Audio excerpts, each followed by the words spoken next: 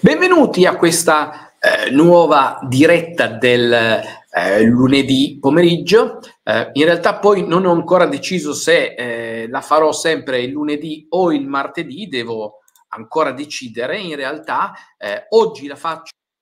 Eh, scusatemi, un attimo un problema. Ehm, dicevo, io credo che ehm, la, la, la, proverò, proverò sia eh, il lunedì che il martedì e poi a seconda di come andrà a finire eh, deciderò se mantenerla, eh, che giorno mantenerla, perché poi una volta deciso che eh, sarà o il lunedì o il martedì, poi sarà sempre quello, sarà sempre tutti i giorni, tutte le settimane eh, lo stesso giorno. Eh, per ora eh, la sto facendo lunedì, la settimana prossima la farò di martedì, poi magari quella dopo ancora di lunedì, poi deciderò e arriverò ad un punto. Um, io eh, inizierei a rispondere alle domande che mi sono già arrivate via email. Eh, ce ne sono due. Ricordatevi che se mi mandate le domande via email prima che io vada in diretta, poi inizio a rispondere da quelle, serve per avere la precedenza nelle risposte. L'email è info-marcocavicchioli.it, ve l'ho messa in, uh, in descrizione. Allora, la prima domanda che è arrivata via email è questa. Pensi che a lungo termine l'avvento dei player istituzionali possa inficiare la decentralizzazione in termini di manipolazione del prezzo? Ok, allora tenete presente che stiamo parlando specificatamente di prezzo perché Uh, il discorso per quanto riguarda invece proprio la uh, gestione del protocollo Bitcoin, delle, delle, transazioni, eccetera, a mio parere non viene influenzata dall'ingresso degli istituzionali. Ricordatevi che quando si parla di investitori istituzionali non si parla delle istituzioni, ma semplicemente dei grandi investitori, cioè di quelli che non è che ci mettono qualche centinaio di migliaia di dollari o qualche milione, ma quelli che ci mettono i miliardi. E secondo me eh, l'ingresso di questi istituzionali, come potrebbero essere BlackRock, anche se BlackRock non è un investitore, ma è un, fornitore di servizi, gli investitori sono quelli che comprano le, azioni dell'ETF di BlackRock, questi istituzionali, a mio parere, non intaccano la decentralizzazione del protocollo di Bitcoin, delle transazioni, del mining, eccetera. E però eh, il discorso cambia se parliamo di eh, manipolazione del prezzo. Perché il problema è che quando c'è qualcuno che è in grado di eh, non solo possedere, ma soprattutto mettere sul mercato enormi quantità di bitcoin di colpo, cioè in breve tempo, quello può inficiare sul prezzo negativamente, nel senso che può farlo scendere molto. Eh, io vi faccio vedere questa mh, pagina eh, eccola qua, perché eh, in, in questa pagina al fondo c'è una bellissima grafica dei maggiori detentori di Bitcoin al mondo. Vedete? Eh, qua manca in realtà il più grosso detentore di Bitcoin al mondo che è Satoshi Nakamoto per il semplice motivo che non si ha la certezza non si ha la certezza eh, che si dice che Satoshi Nakamoto possieda circa 1 milione e 100 mila bitcoin, però ce li ha su un numero di indirizzi enorme perché lui ogni volta che incassava, eh, che, che minava un blocco e incassava i 50 bitcoin usava un indirizzo diverso eh, e quindi non è stata compresa in questa non è stato compreso in questo elenco anche perché probabilmente eh, è morto è scomparso e quindi non, non fa operazioni. E come vedete in questo momento eh, in realtà l'unico grande ente sarebbe Grayscale, che però sta diminuendo eh, perché ne sta vendendo sempre di più, questo è l'ETF di Grayscale, eh, però vedete non c'è un netto predominio, quindi non siamo in una situazione in cui un'unica, un unico ente in questo momento può davvero fare il bello e il cattivo tempo, però capite che con tutti quei bitcoin, quando vendono potrebbero creare problemi. Ad esempio, in questi giorni che il prezzo Bitcoin è sceso, può darsi che un ruolo importante lo abbiano avuto le liquidazioni proprio di Grayscale, perché Grayscale eh, adesso ha circa 566 mila Bitcoin, ma in realtà oggi sembra che ne abbia liquidati altri 19 mila, quindi dovrebbe essere a 547 mila bitcoin, però ne aveva 620 mila, quindi ne ha già liquidati eh, praticamente quasi 80 mila, quasi 80 mila bitcoin che sono tantissimi, eh, però eh, facendo un po' scendere il prezzo perché li ha liquidati abbastanza eh, in fretta.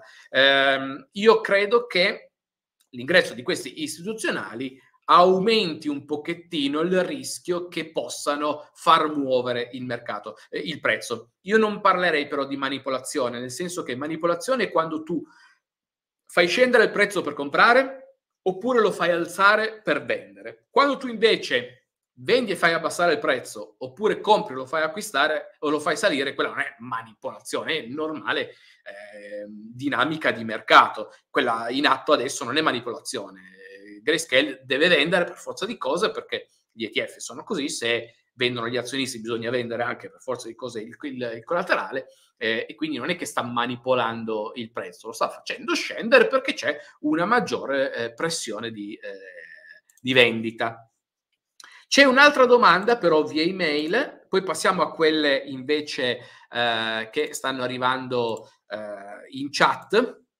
Um, Dice, la cosa che non mi è chiara è che se la maggior parte degli investitori stanno andando via da Grayscale per passare a BlackRock e agli altri ETF e dalle quantità vendute eh, giornalmente sono tanti, perché Grayscale non abbassa le fee eh, ai parametri almeno di BlackRock? E questa è una bellissima eh, domanda, ha perfettamente senso. Allora, sappiate che di tutti gli ETF che ci sono in giro su Bitcoin, eh, su Bitcoin Grayscale è quello più grande, quello con più Bitcoin, e anche uno, uno di quelli con le fee più eh, elevate. Tenete presente che Grayscale eh, esisteva già perché il fondo di Grayscale esiste dal 2013, quindi da 11 anni, e fino all'altro giorno, fino al 9 di gennaio, non era un ETF. Poi il 10 gennaio è stato approvato ed è diventato un ETF. Quindi prima, quando non era un ETF, poteva permettersi delle eh, fee molto alte. Se non sbaglio, le commissioni sono dell'1,5% all'anno, che sono altissime. È molto probabile che molti di quelli che stanno vendendo ehm, azioni dell'ETF Grayscale, magari per comprare azioni degli ETF di BlackRock o Fidelity o eccetera, gli altri, lo stiano facendo perché invece BlackRock, Fidelity eccetera hanno fee molto più basse. Se non ricordo male, 0,20-0,30% all'anno rispetto a 1,5%, quindi elevatissimo. Allora, eh, la domanda giustamente è, è, ma perché questi qua di Grayscale continuano a mantenere le, le, le commissioni così alte eh, al posto che abbassarle e cercare di evitare che la gente venda eh, le azioni del loro ETF? Ah, secondo me lo fanno di proposito, cioè io mi sono fatto questa idea. Secondo me hanno accumulato nel corso del tempo troppi bitcoin riguardiamoci di nuovo quel, questo grafico, cioè guardate, questo è, è grayscale, ok? Cioè andiamo a vedere, andiamo a vedere eh, MicroStrategy, guardate, guardate quante ne ha MicroStrategy e quante ne ha eh, grayscale.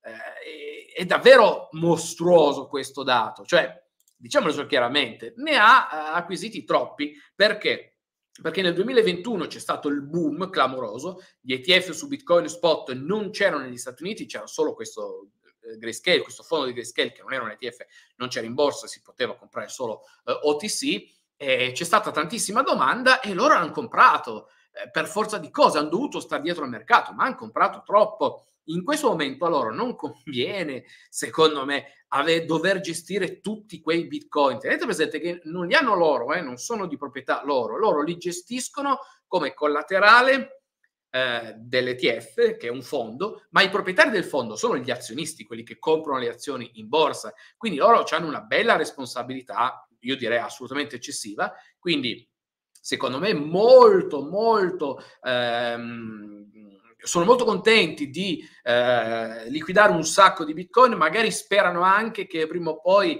eh, l'ETF di BlackRock li superi, tanto, tanto lo farà perché l'ETF di BlackRock è il più grande che c'è, BlackRock è il più grande gestore patrimoniale al mondo e quindi molto banalmente io credo che fino a che non, avranno, non si saranno liberati di tutta questa montagna di, di bitcoin, manterranno eh, volontariamente le fee alte perché ci guadagnano tanto con le fee alte, ovviamente, eh, e eh, si scaricano di un pochettino di responsabilità. Poi a un certo punto, ovviamente, non gli converrà più e quindi dovranno abbassare perché altrimenti se perdono troppo poi ci guadagnano troppo poco, ok? Se perdono troppi, eh, troppi azionisti. Eh, quindi molto probabilmente eh, non adesso, ma a un certo punto inizieranno a diminuire e pro- prima o poi arriveranno in linea con gli altri. Io però ritengo che tutti sui mercati credano che BlackRock e Fidelity perché BlackRock è il, il, primo, il più grande gestore patrimoniale al mondo, ma Fidelity, se non sbaglio, è il quarto. Ecco, loro due si spartiranno la gran parte eh, di questi bitcoin. In questo momento, guardate, questo è eh, l'ETF di eh, ehm, BlackRock, questo quello di Fidelity. prima che riesca, questi due prima o poi, diciamo messi assieme, supereranno quello di Grayscale, ma ci vuole ancora parecchio. Quindi a mio parere ancora per dei mesi rimarremo su questa eh, situazione. Andiamo avanti con le domande che arrivano via chat. Um, ora, io non so se eh, nella sessione, in questa seconda sessione settimanale di domande del lunedì o del martedì, farò un'ora, non è mh, strettamente necessario, quindi andrò avanti con le domande, poi se a un certo punto non ce ne sono più, eh, chiudo la diretta. Invece la diretta del giovedì sera delle 20.30, che rimane sempre, quella durerà sempre comunque un'ora perché è quella in cui dovrebbero esserci la maggior parte delle, delle, persone. In realtà in questo momento siete collegati più o meno tanto quanto quelli del giovedì sera, quindi eh, vuol dire che comunque è un buon orario questo. Allora, andiamo avanti, passiamo alle domande via chat che però sono di meno rispetto al solito, quindi magari veramente oggi finiamo prima. Vediamo. Um, una cosa che non sono mai riuscito a capire, qual è il vantaggio pratico di pagare in cripto? Il vantaggio pratico di pagare in cripto. Allora, attenzione, qua bisogna fare un'enorme distinzione tra le vere criptovalute e le stable coin, perché le vere criptovalute come Bitcoin, Ethereum, eccetera, non sono dei buoni mezzi di pagamento perché il loro valore è troppo volatile e inoltre Bitcoin che ha natura deflattiva, cioè va verso la deflazione, Ethereum mi sembra che sia già più o meno deflattivo e mm, non conviene spenderli, cioè conviene spendere, privarsi delle monete inflattive piuttosto che non di quelle deflattive o con natura deflattiva. Quindi a mio parere non c'è un reale vantaggio a fare pagamenti in eh, criptovalute, però c'è un vantaggio nel farle in stablecoin. Cioè, eh, le stablecoin, quelle le stablecoin in dollari, hanno sempre il valore di un dollaro, quindi sono l'alternativa ai dollari. Allora, eh, premesso, cioè eh, sottolineato che non c'è un vero vantaggio nel pagare in bitcoin e ethereum piuttosto che in eh, euro-dollari, passiamo invece ai vantaggi delle stablecoin rispetto alle normali valute fiat.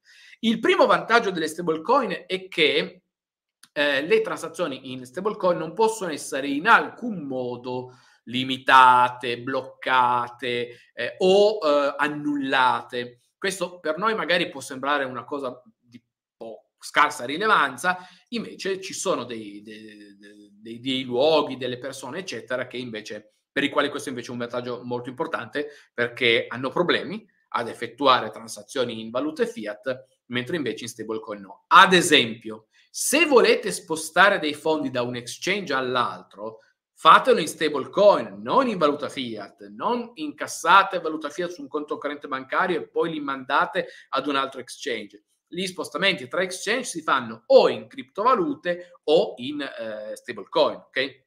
E per quanto riguarda i pagamenti, per l'appunto, non tanto i piccoli pagamenti quotidiani, ma quando uno fa pagamenti un po' importanti, magari eh, internazionali, eh, le stablecoin convengono anche perché, ad esempio, se tu fai un pagamento eh, in USDT magari non su eh, Ethereum, ma su eh, Arbitrum, Optimism eh, o Tron, hai delle, de, delle, commissioni che sono ridicole, molto inferiori a quelle che pagheresti se facessi un trasferimento di denaro in, in valuta fiat. Eh, e poi c'è ovviamente un altro vantaggio che va detto, ovvero che eh, dato che tutte le criptovalute sono anche gestibili in maniera ehm, non custodial, cioè in maniera totalmente personale, eh, c'è chi le usa per nascondersi alle autorità, cioè per fare delle transazioni che non vengano eh, carpite dalle autorità. Ovvio che se poi chi fa delle transazioni in, stable, in, in criptovalute passa attraverso un exchange centralizzato col KYC, cioè con la verifica dell'identità, perde completamente tutto. Quindi chiunque di noi utilizzi degli exchange con la, la, la verifica dell'identità, eh, queste cose non, non, le può fare perché tanto alla fine si risale. Invece c'è chi gestisce anche alcune, alcuni portafogli, alcuni wallet non custodial eh, che eh, vengono nascosti alle eh, autorità. Ehm, Andiamo avanti. Altri vantaggi non è che ne vedo molti dall'utilizzo delle, delle stablecoin per fare pagamenti, ok? Eh, andiamo avanti. Allora, quando pensi possa ritracciare Bitcoin nel prossimo bear market, un possibile bottom? E questo proprio non lo so, perché io faccio molta fatica a immaginare da dove partirà il prossimo bear market, perché il bottom dipende da quello. Mi spiego. Noi però fino ad oggi abbiamo avuto tre grandi bull run, tutte e tre dopo l'halving, tutte e tre seguite da un bear market. In tutti e tre i bear market il bottom è stato a meno 85% dal massimo, nei primi due casi, 2013-2017, o da quello che avrebbe dovuto essere il massimo, cioè ehm, nel 2021 il, il, massimo fu 70.000, ma in realtà avrebbe dovuto essere 100.000. Quindi eh, nel 2013 arrivò a 1100 dollari e poi scese dell'85%, nel 2017 arrivò a 20.000 dollari, poi scese dell'85% e eh, nel 2021 arrivò a 70.000, ma avrebbe dovuto arrivare a 100.000 e scese eh, dell'85% da 100.000. Quindi io non so dire quale sarà il possibile bottom perché secondo me potrebbe essere il meno 85% dal massimo che non so dire quale sarà. E secondo te quando potrebbe iniziare il prossimo bear market? Allora, tenete presente che in genere i, uh, i massimi bitcoin tocca a fine anno, novembre, dicembre. C'è stato, mi sembra, un unico caso in cui era il 31 di ottobre. Eh, comunque, eh, eh, qua, dopo che tocca i massimi, parte il bear market eh, bear market può essere più o meno lungo, anche il bear market in genere è lungo circa un anno. Ad esempio, l'ultimo è durato un anno preciso, eh, quello prima era, durato, era durato un anno, eh, quello invece ancora prima era durato un anno e tre mesi, mi sembra, un anno e due mesi, come qualcosa eh, in più. Eh, quindi quando ci sarà il prossimo grande bull run, eh, il prezzo probabilmente a fine anno, che sia il 2024 o il 2025, non lo so, andrà magari molto in alto e poi inizia il bear market, perché poi eh, queste sono vere e proprie bolle, bolle speculative, eh, quindi non, non, bolle che distruggono completamente l'asset una volta che scoppiano, ma semplicemente che prevedono una forte eh, ascesa ingiustificata, scoppiano e il prezzo scende e quel, quella discesa è il bear market. Eh, è possibile investire in oro fisico restando nelle cripto? non nel senso che puoi acquistare dei token che sono collateralizzati in oro, ok? Ma mm, non so se questo risponda alla tua domanda, ok? Eh, però fate attenzione perché eh, i token collateralizzati in oro voi non, non, è che siete proprio certi, certi, certi che ci sia tutto l'oro dietro e, e soprattutto L'importante è che se voi date indietro il token vi diano indietro loro. Io so che Tether Gold è così, cioè voi potete andare là, gli date, vabbè, insomma, gli date il token e poi andate a ritirare proprio l'oro, però dovete andare là fisicamente. Però sì, ok?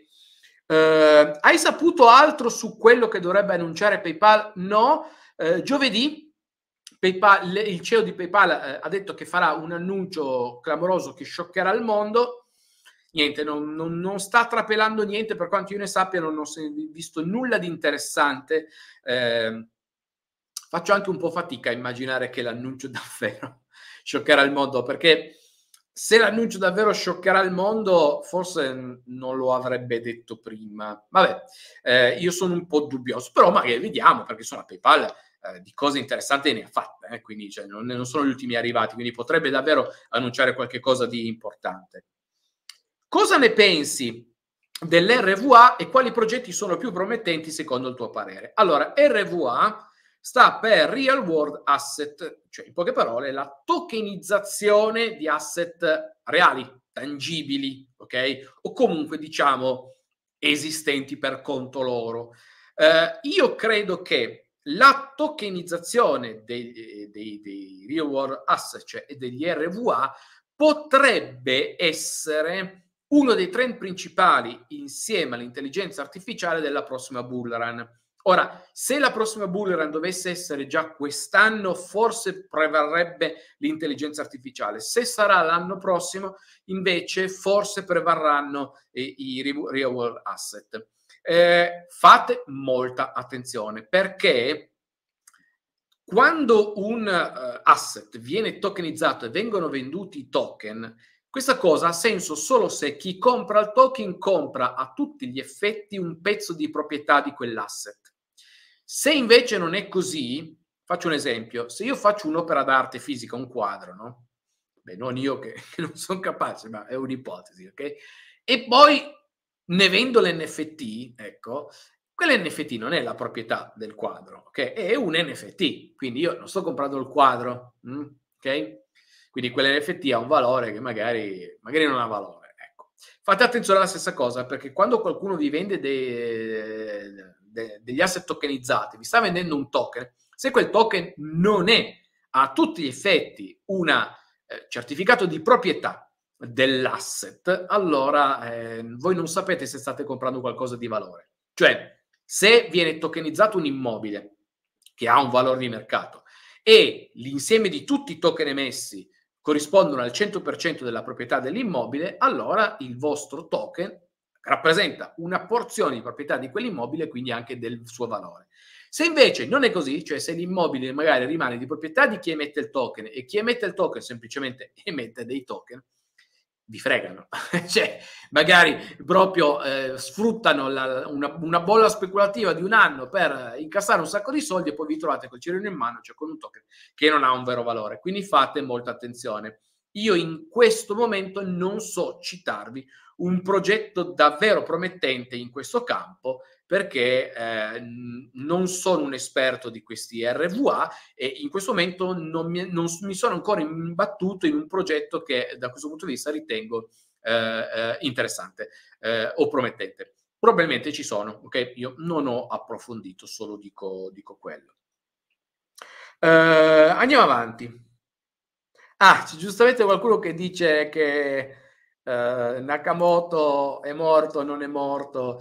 Io sostengo che Nakamoto uh, sia morto, ma vi, vi, spiego il perché. Cioè, ma davvero uno che mina un milione e centomila bitcoin e poi smette, perché ha smesso, ha smesso nel 2010, ok? Lui in due anni, 2009-2010, ha minato un milione e centomila bitcoin e poi non li ha mai usati. Satoshi Nakamoto non si sa di preciso esattamente quali sono tutti i suoi indirizzi, però c'è un, un sistema con, con, il quale hanno individuato, diciamo così, una serie di suoi possibili indirizzi. E con questo sistema si è scoperto, primo, che lui a un certo punto ha smesso di minare, secondo, che non ha mai usato nessun bitcoin minato. Dai, l'unica spiegazione è che sia morto, scusa, ma cos'è scemo? Cioè, e, e potrebbe essere uno degli uomini più, più, ricchi del mondo, comunque molto ricco, ecco, e, e non li usa, eh, no, non avrebbe senso. Per carità, poi magari eh, ne ha minate degli altri che non sappiamo. Ecco. Però io reputo che molto probabilmente sia morto. Eh, d'altronde, ad esempio, uno di quelli che potrebbe essere, eh, questa è solo un'ipotesi, ok? Poi magari non è lui, probabilmente lui, al fine eh, è morto. Anche un altro, Dave Kleinman, è morto. Quindi cioè, eh, diciamo che due dei maggiori candidati sono effettivamente morti, ok? Quindi Ehm, secondo me, ah, questo è un altro utente che dice, secondo me più ne vendono ade- adesso, più eh, alzerà il prezzo poi. Questa è un'ipotesi che secondo me è molto interessante perché io l'ho letta anche fatta da altri, cioè molti sostengono che visto che in questo momento eh, Grayscale sta liquidando tantissimi bitcoin, ma il prezzo non scende sotto i 40.000 dollari, significa che probabilmente quando Grayscale finirà di venderne così tanti, perché prima o poi finirà, e secondo me finirà prima dell'halving, mm, perché io ho fatto i calcoli, secondo me potrebbe andare avanti così massimo due mesi, due mesi e mezzo, ok? eh, e quindi prima dell'alving dovrebbe finire. Se gli altri ETF invece continueranno a comprare, perché non è che tutti i, i, i bitcoin che vengono liquidati da Grayscale finiscono in, negli altri ETF, nel senso in quantità sì, in questo momento è quello che sta capitando, ma non sono le stesse persone, che chi vende e chi compra sono le stesse persone, quindi io credo che gli altri ETF dovrebbero continuare ad andare avanti a comprare, quindi quando Grayscale finirà di vendere tanto e gli altri ETF probabilmente continueranno a comprare, il prezzo potrebbe alzarsi tranquillamente perché gli altri ETF ne stanno comprando tantissimi. Eh. Cioè, non dimentichiamoci, andiamo sempre a vedere lo schemino di prima, non dimentichiamoci che eh, l'ETF di BlackRock ha comprato 33.000 bitcoin in una settimana e mezza e Fidelity 30.000 bitcoin in una settimana e mezza. Ok? Questi due da soli hanno fatto 66.000, 63.000 bitcoin in eh, una settimana e mezza e quindi direi che a questo ritmo, ok? Eh, andiamo avanti. Uh, ok. Secondo te i cicli di mercato continueranno ad esistere? Ah, questa è una bellissima domanda.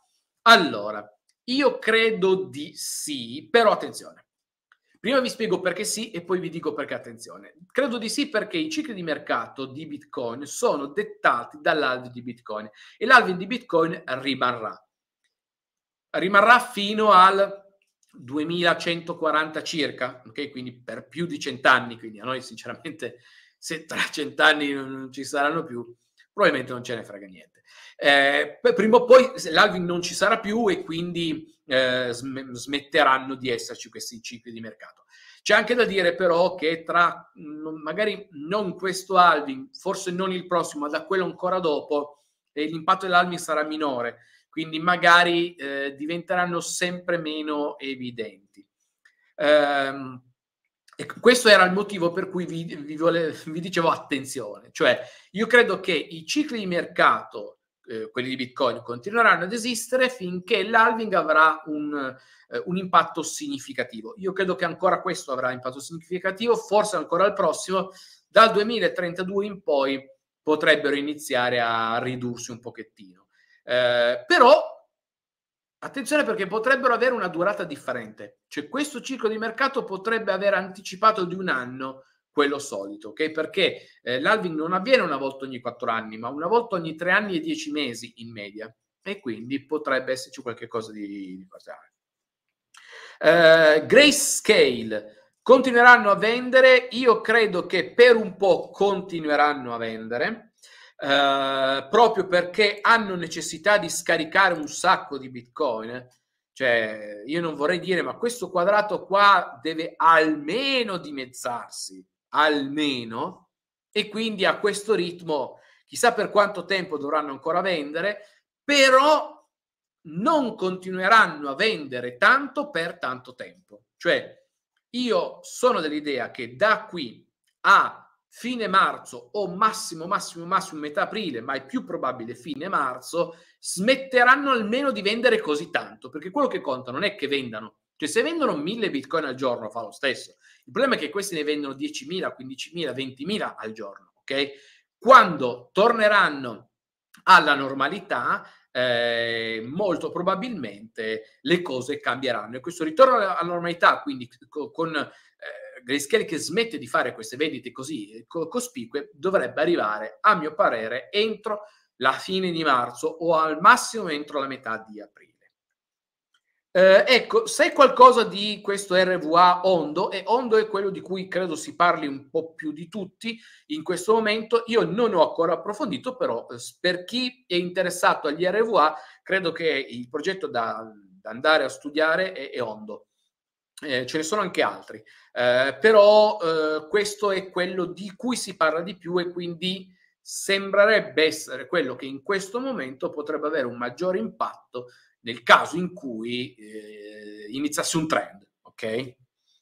Eventuali prossimi massimi secondo te? allora, e dipende da cosa intendi per prossimi. Io farei, uh, prenderei come riferimento tre, diciamo così, eh, date, ok? Primo è l'halving, secondo è il post-halving, secondo e terzo è, il fine anno. Primo è l'halving.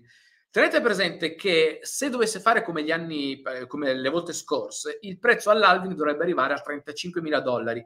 Quindi io non mi aspetto che all'alving ci arrivi eh, con nuovi massimi. Cioè, ricordatevi che il massimo eh, di quest'anno è stato fatto il giorno del lancio, l'11 di, eh, di gennaio, del lancio de- degli ETF, eh, a 49 mila dollari. Io sinceramente non è che mi aspetti qualche cosa di tanto meglio prima dell'halving, però magari potrebbe anche farlo. Poi però c'è il post-halving, attenzione, attenzione però perché l'halving inizia ad avere effetto qualche mese dopo, quindi dovremmo aspettare forse luglio-agosto.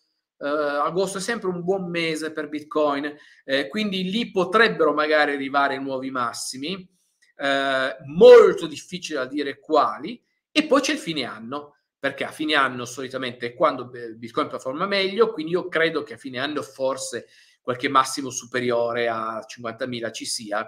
Io non escluderei che entro fine anno faccia, di nuovo, nuovo, faccia dei nuovi massimi di sempre, ok? Cioè superi i 70.000 dollari. Io non lo escluderei.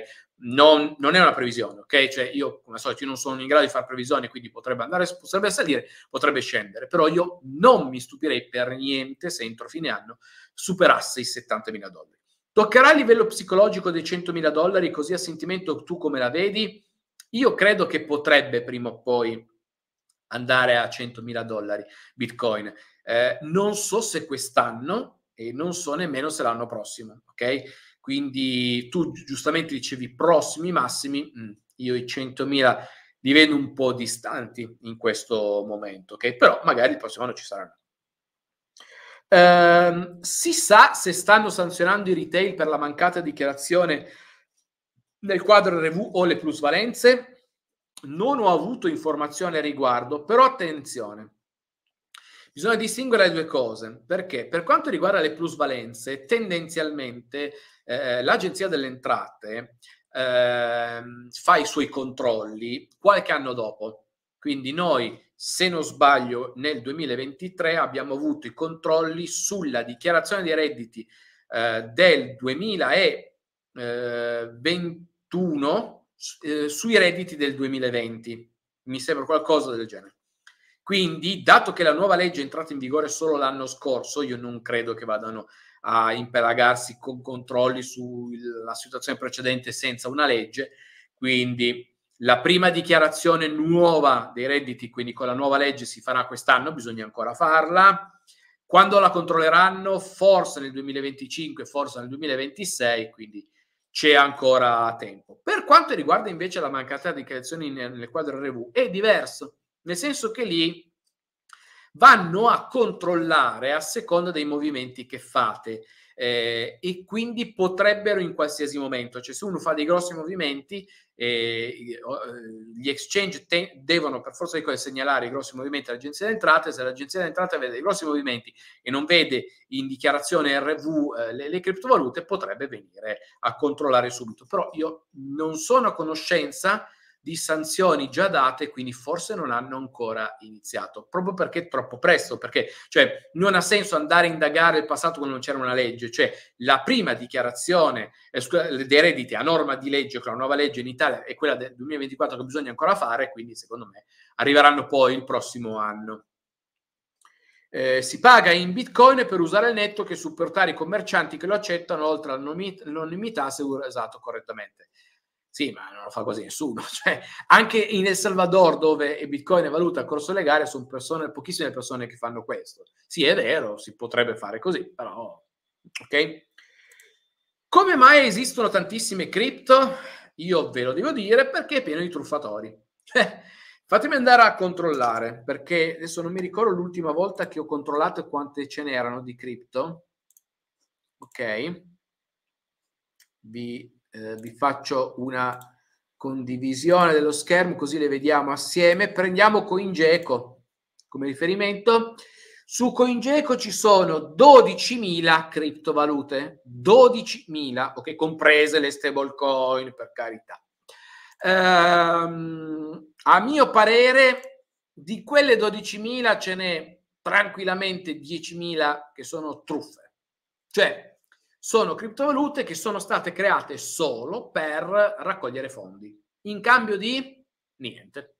Quindi a mio parere sono truffe, cioè quando tu lanci una criptovaluta che ha come unico scopo quello di essere venduta, quindi di permetterti di raccogliere dei fondi e non dare niente in cambio, quella a mio parere è una truffa. Poi eh, magari eh, formalmente, fiscalmente, dal punto di vista legale non è una truffa, ma per me eh, lo è. Quindi purtroppo eh, il numero così elevato è perché sono tantissime le truffe.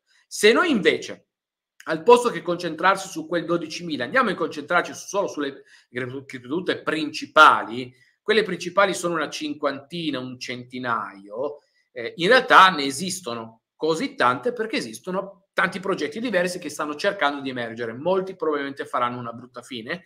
Alla fine due sono già emersi, Bitcoin e Ethereum. Altre, insomma, c'è BNB che comunque ha perfettamente senso perché è la criptovaluta con cui si pagano le fee su, BNB, su BSC, cioè Binance Smart Chain. Però, insomma, Vedremo, ce ne sono alcuni interessanti che stanno, Avalanche interessante ad esempio, eh, però insomma capisci che c'è una bella differenza tra le 50, 100, i 50-100 progetti davvero seri, importanti e i 12.000 che abbiamo visto prima. Eh, spesso sento parlare di airdrop su Solana. Mica mi sai dire a grandi linee come funziona? Eh, poi c'è un'altra cosa, sì.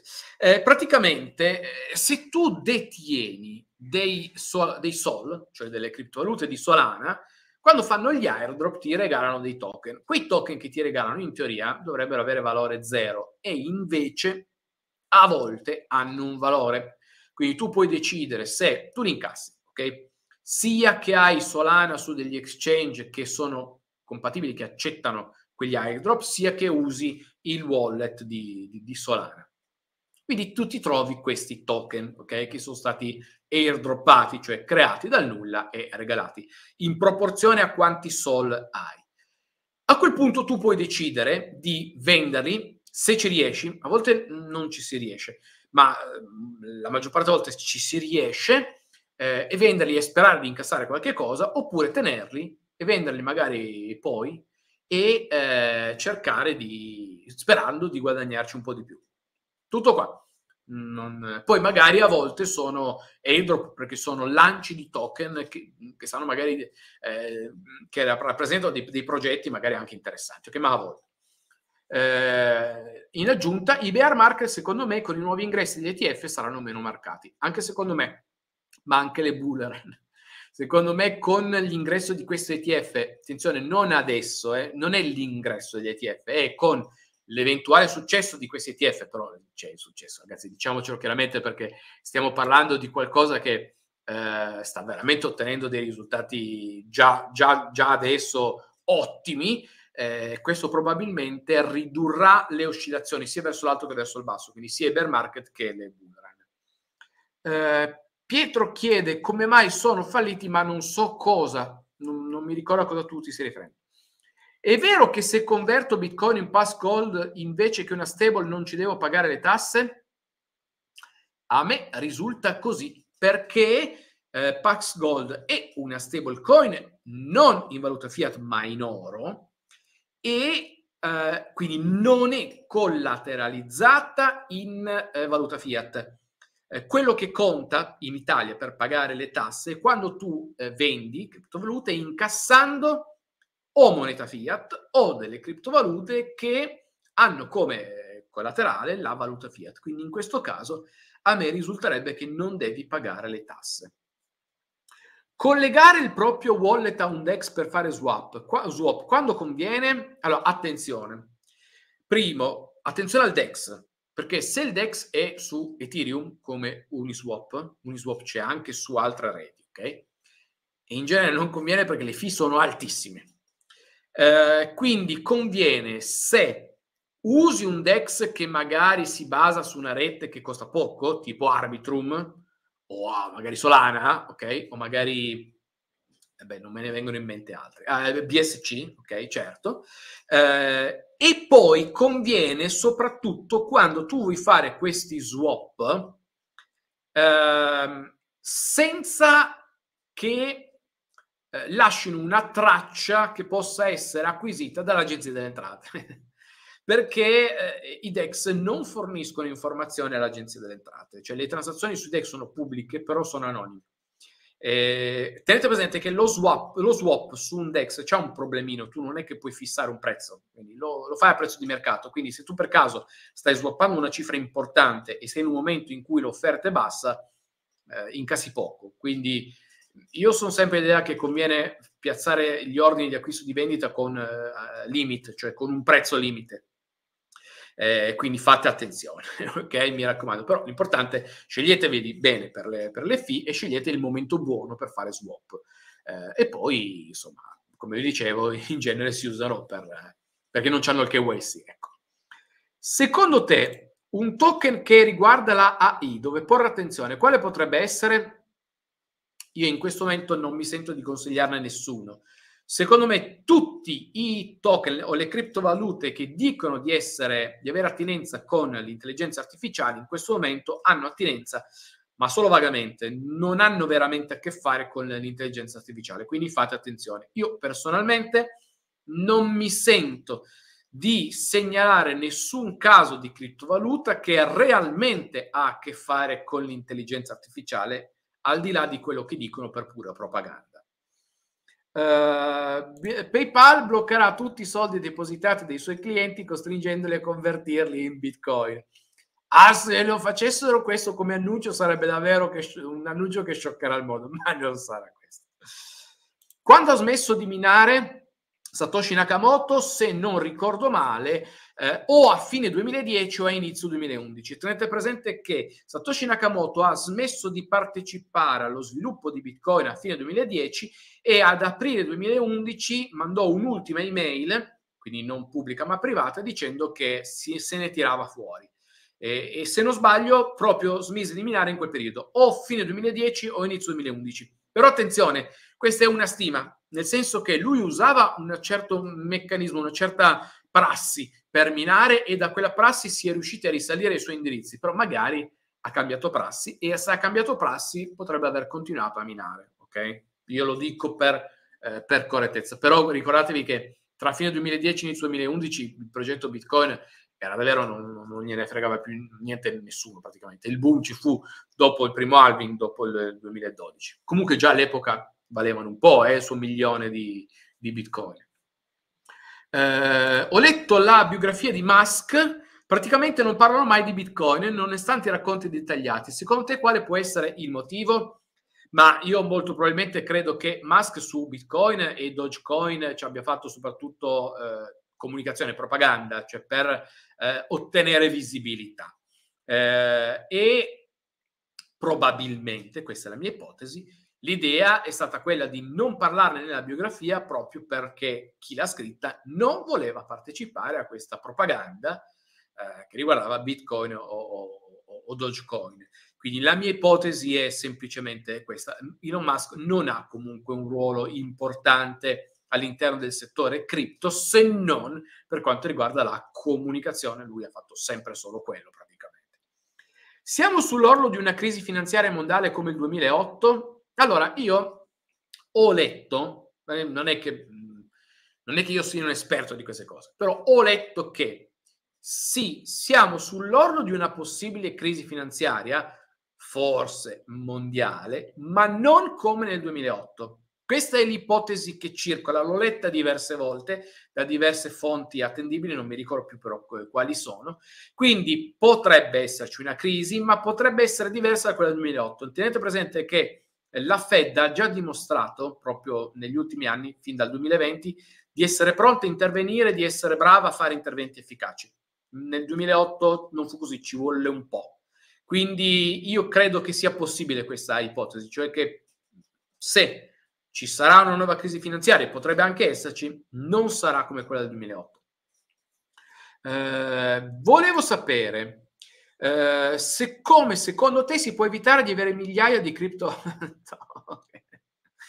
non si può. No, no, no, niente da fare perché sono decentralizzati. Chiunque può crearsi un token o una criptovaluta, chiunque, veramente chiunque. E costa anche poco. Ormai ci sono dei, dei servizi online che ti permettono di creare un token con 50 euro e quindi non si può, mi spiace. Eh, Come lo vedi il nuovo wallet di Binance per il Web 3? Non lo so, sono un po' dubbioso. Sono un po' dubbioso perché io non vorrei che il Web 3 sia stato un trend del 2021 e sia passato. Lo so che può sembrare strano, eh, perché uno dice ah, il Web 3 è la nuova versione del web, arriverà, eccetera. Io temo che il Web 3 sia diverso, sarà diverso da quello che ci è stato propagandato fino ad oggi. Quindi io temo che il Web 3 come l'hanno propagandato nel 2021 fosse comunicazione e propaganda, il vero Web3 sarà differente secondo me. Eh, non mi stupirei che un ruolo importante all'interno del Web3 lo avesse Lightning Network, cioè il layer 2 di Bitcoin, o i layer 2 di Ethereum, Arbitrum, Optimism, eccetera. Quindi io non sono dell'idea, perché il, nuovo, il wallet di Binance per il Web3 è fatto per il Web3 così come ce l'hanno propagandato nel 2021, ok? Non per quello che forse sarà, anche perché nessuno lo sa realmente come sarà. Quindi io ho i miei dubbi, anche perché comunque Binance c'è già Trust Wallet che non è per specifico per il Web3, ma è specifico per le criptovalute, e, eh, supporta diverse reti, quindi non lo so, sono un po' dubbioso. Uh, potrei chiederti la fonte secondo cui DAI non è una stable fisicalmente rilevante quando si andrà a convertire BitKC in stablecoin? Uh, è un'interpretazione, è un'interpretazione, la fonte è, sono i commercialisti che eh, io ho avuto come sponsor, eh, lo hanno detto diverse volte nei miei video, quindi Crypto Co. Eh, loro sostengono che, ma ha perfettamente senso, ok? Nella legge c'è scritto che è un evento fiscalmente rilevante la vendita di criptovalute in token che sono e-money e per essere e-money devono essere collateralizzate in valuta fiat. DAI non è collateralizzata in valuta fiat, DAI è collateralizzata in Bitcoin ed Ethereum. Quindi vendere Ethereum per incassare DAI significa vendere Ethereum per incassare una stablecoin eh, eh, collateralizzata in Ethereum, ok? Quindi, interpretando alla lettera la legge italiana, emerge che DAI non è un e-money token e quindi non vi sarebbe un evento fiscalmente rilevante. Oltretutto, DAI non è emessa o gestita da un ente che rientra in quelli che per legge, per la legge italiana, sono riconosciuti come emittenti o gestori di e-money, eh, eh, eh, token perché eh, DAI è, uno, eh, è, gestito e emesso da uno smart contract, che è un, un, software decentralizzato, e quindi in effetti sembrerebbe non esserci. Uh, anche questo, Solana anche non so che cosa, che cosa tu ti stai riferendo. Eh, di domande ne abbiamo un bel po', facciamo un'ora alla fine. Eh, consiglio DeFi, de, de, de, io non riesco mai a pronunciarlo, DeFi Lama per sniperare airdrop in lancio, sì, anche io consiglio DeFi Lama moltissimo, eh, sono due L, ok? Defil LLA, ma io non so come si pronuncia, mai saputo. Defilama.org mi sembra, qualcosa del genere. Secondo te è un buon momento per acquistare alt da vendere poi all'apice del prossimo bull market? No, a questa domanda non posso rispondere perché questo sarebbe un consiglio sugli investimenti, io non posso darlo, mi spiace proprio, cioè eh, non sono un consulente finanziario. Se, lo, se rispondessi a questa domanda commetterei un illecito, io non, non me la sento. Ah, a proposito degli airdrop di Solana, se detengo solo Sol su exchange mi daranno anche, eh, non le cripto, i token. Eh, sì, in teoria sì, nel senso che se l'exchange supporta quell'airdrop, perché non è detto che tutti gli exchange supportino tutti gli airdrop, ma se l'exchange su cui tu hai Sol supporta quell'airdrop, l'exchange ti darà quei token, perché comunque quei token vengono dati all'exchange e l'exchange dovrebbe darli a te. Però non è detto, perché non tutti gli exchange supportano tutti gli airdrop, quindi ogni volta devi andare a verificare. Se invece hai eh, i sol sul tuo wallet non custodia, ricevi tutti gli airdrop sempre, però magari non li puoi usare subito i token. Quindi su exchange è più veloce, ma non è sicuro al 100%, a meno che l'exchange non abbia detto che sicuramente lo fa. Invece su wallet non custodia è sicuro al 100%, ma non è detto che ti arrivino immediatamente. Uh, Se è vero che il bottom del bear market è sempre attorno al top della bull run del ciclo precedente e se consideriamo che il prossimo bear market toccherà il bottom attorno ai 60-70 mila dollari, questa è una tua ipotesi, che il 20% del top, il prossimo ATH dovrebbe, il prossimo massimo storico dovrebbe arrivare a 300 mila dollari. Come la vedi? Ipotesi plausibile. Sì. Io non me la sentirei di dire che 300.000 è la previsione, ok? Potrebbe essere 100.000, potrebbe essere 200.000, magari potrebbe anche essere che non riesce a superare il massimo dei 70.000 dollari. Però questa è un'ipotesi assolutamente plausibile. Non per il motivo che hai detto tu, però. Cioè, secondo me, il vero motivo è che l'effetto dell'halving potrebbe creare, sommato agli ETF, una scarsità di offerta unita ad un aumento della domanda e quindi 300 mila dollari sono possibili. E tanto, ehm, Plan B dice 500 mila, ok? Secondo me 300.000 è tanto, 300.000 significa praticamente quasi per 5 rispetto ai precedenti eh, massimi, anche se secondo me il punto di riferimento non è tanto il 70.000 dollari raggiunto effettivamente, ma i 100.000 che non sono stati raggiunti sarebbe un per 3 e avrebbe perfettamente senso. Secondo te il trend degli NFT è finito? Secondo me no riappariranno, ma credo in forma diversa, perché gli NFT sono una tecnologia molto interessante. C'è stata la bolla. Io non mi aspetto un'altra bolla così grossa degli NFT, probabilmente ce ne sarà un'altra, magari non sarà così bro- grossa, soprattutto in percentuale, eh, ma io non credo che il trend degli NFT sia finito. Io credo che tornerà magari più piccolo di prima. Eh, e dove posso trovare la pagina che fa riferimento al progetto Ondo? Ondo è corretto, non me lo ricordo, eh, però prova a cercare Ondo RVA eh, su, su, Google lo trovi secondo me. Ehm, con il wallet ancorato all'exchange non ti danno neanche la seed phrase, mi sembra un po' una via di mezzo, anche perché per accedere devi comunque passare da Binance, non hai un'app a parte. Ecco, anche secondo me questo wallet Web3 di Binance comunque devi passare per Binance e, Bin- e non è non, e non custodiano, ma Binance, Binance, si riserva il diritto di eh, limitare o bloccare le operazioni. Qui non è che sia proprio sta gran cosa, eh? cioè stiamo parlando di un um, uh, uh, di un wallet che non è come Trust Wallet, ok? Anche perché è diverso, perché è fatto per il Web3. Quindi mh, anch'io ho questi dubbi. Coinbase è affidabile, ma io direi di sì. Me la sento di dire di sì, è un'azienda quotata in borsa, se hanno problemi fanno un danno clamoroso. Eh, non è un caso che quasi la maggior parte degli ETF abbiano scelto Coinbase come custody, come eh, custode dei, dei, bitcoin, cioè non, BlackRock non tiene i bitcoin, Fidelity non tiene i bitcoin, ma nemmeno i scali lasciano tutti a Coinbase. Coinbase credo che sia in assoluto uno degli exchange più affidabili al mondo, se non il più affidabile al mondo, però costa, eh? quindi fate attenzione.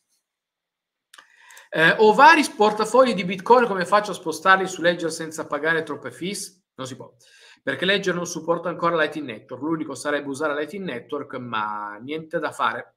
No, mi spiace, non so, non, non, non so rispondere, ma non credo ci sia risposta.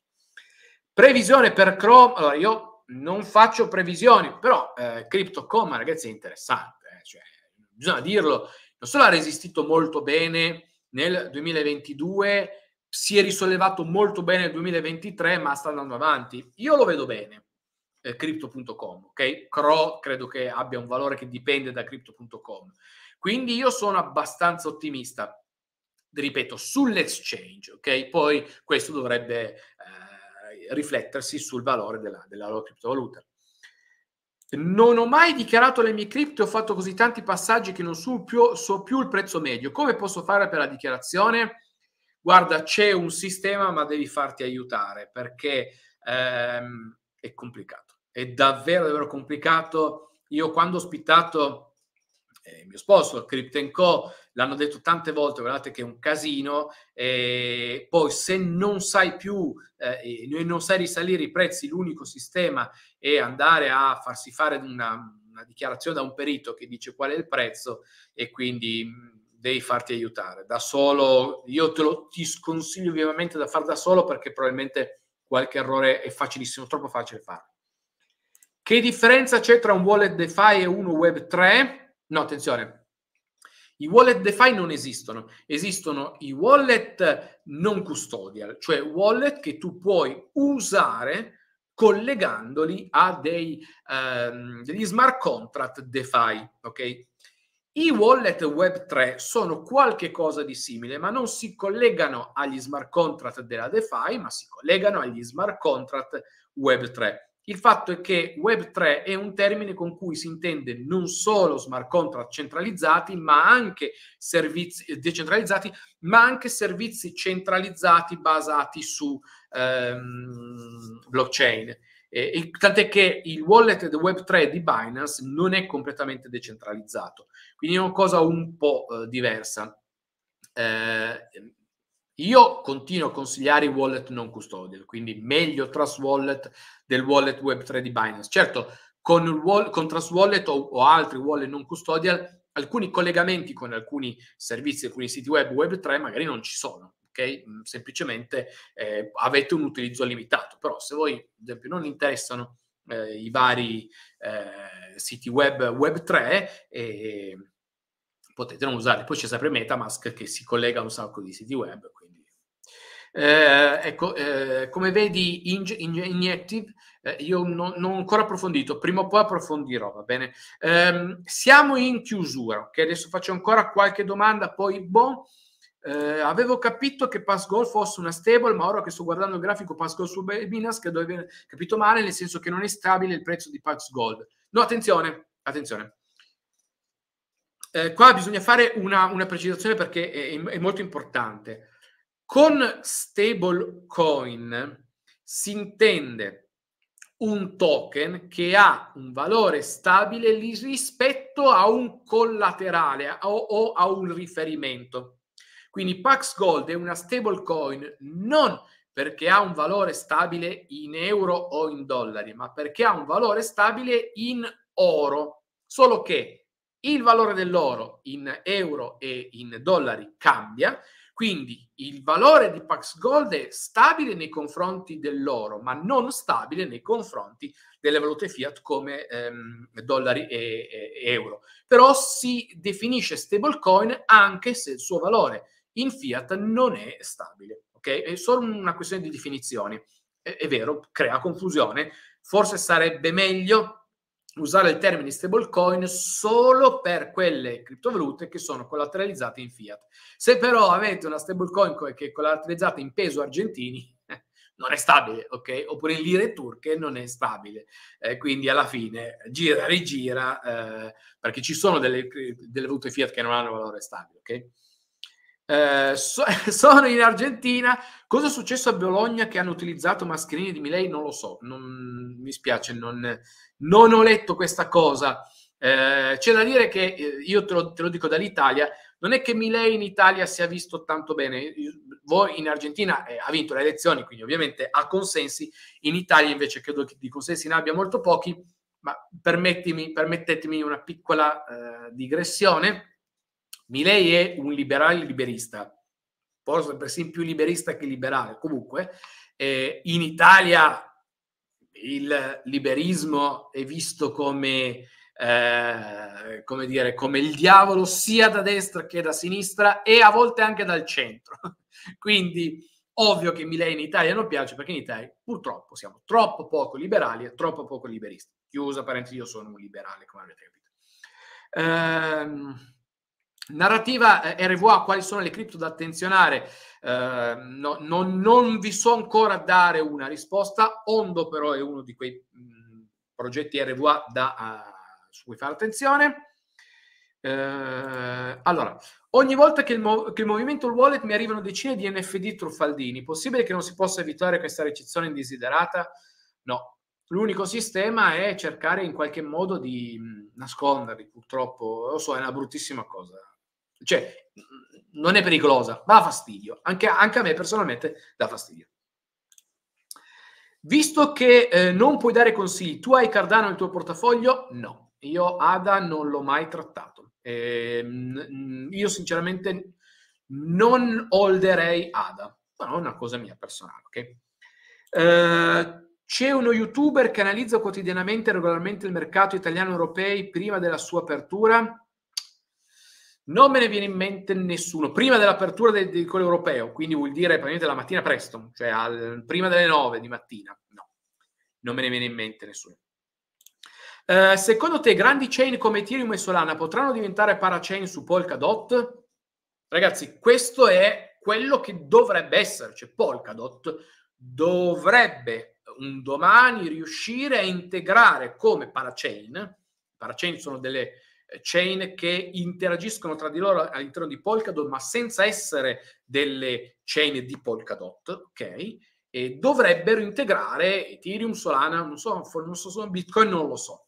E però per ora non l'hanno fatto. Per carità, Ethereum ha avuto il passaggio, il proof of stake eh, l'anno scorso e eh, quindi eh, il, no, nel 2022. E, ehm, e, quindi magari era difficile, però io inizio a essere un po' scettico sulla capacità di Polkadot di arrivare al dunque, cioè di arrivare a integrare le altre eh, blockchain come parachain in modo da farle eh, comunicare tra di loro. Ultime due domande poi abbiamo finito perché altre abbiamo sforato un'ora. Eh, Rabbi Wallet o il nuovo wallet di Coinbase sono buoni? Rabbi Wallet non lo conosco. Il nuovo wallet di Coinbase, io non sono un grande sostenitore del wallet di Coinbase, quindi preferisco Trust Wallet. Eh, ultima domanda, quali sono gli exchange migliori per depositare, tolto Binance come privacy e accesso a token? Io in questo momento sto consigliando Kraken. Kraken esiste da parecchio tempo, mh, mm, funziona bene. Uh, in passato ha avuto qualche problema, poi non li ha più avuti. Kraken ha un ottimo rapporto con gli euro, quindi è davvero comodo per quanto riguarda gli euro. Poi il problema del deposito degli euro sugli exchange viene dato dalle banche italiane, ok? Quindi, però eh, Kraken va benissimo. Per quanto riguarda gli euro c'è anche Bitpanda, che Bitpanda è europeo è austriaco, quindi non dà nessunissimo problema. In Italia c'è Young, comunque Young Platform, che sempre per quanto riguarda gli euro non dà nessunissimo problema, mi sento di, di consigliarlo. E, mm, poi altri, vediamo. Eh, allora, c'è sempre Coinbase. Per quanto riguarda, ad esempio, io ammetto che uso Coinbase per una cosa, una sola cosa, perché Coinbase ha delle fee altissime, ovvero per incassare euro su PayPal perché con Coinbase praticamente una volta che avete collegato il vostro PayPal fate con un clic trasferite gli euro istantaneamente da Coinbase a PayPal. Quindi se voi ricevete eh, criptovalute, che ne so, stablecoin, le mettete su Coinbase, potete venderle e incassare euro su PayPal nel giro di 20 secondi, 30 secondi. È davvero eh, eccellente. Però i costi sono elevati e quindi fate attenzione perché su Coinbase costa tutto, quindi andateci piano. Però per gli euro è decisamente uno dei migliori. Kraken è meglio, solo che Kraken non puoi, io lo uso per mettere su PayPal, ok? Mentre invece, perché pago tutto con PayPal online, ma mh, mm, con, con, con, Kraken no. Un domani che anche in Italia PayPal avrà eh, integrato il wallet crypto, eh, io non userò più Coinbase, mi metterò direttamente lì e tanto piacere. Benissimo, direi che abbiamo finito. Allora, noi ci vediamo martedì prossimo alle 6 di sera eh, per eh, replicare questa, questo format, quindi non domani, non il 23, ma eh, il 30 e poi ovviamente giovedì alle 20.30 con invece la solita sessione eh, serale per chi non può connettersi il pomeriggio. Eh, ci rivediamo, un saluto, ciao!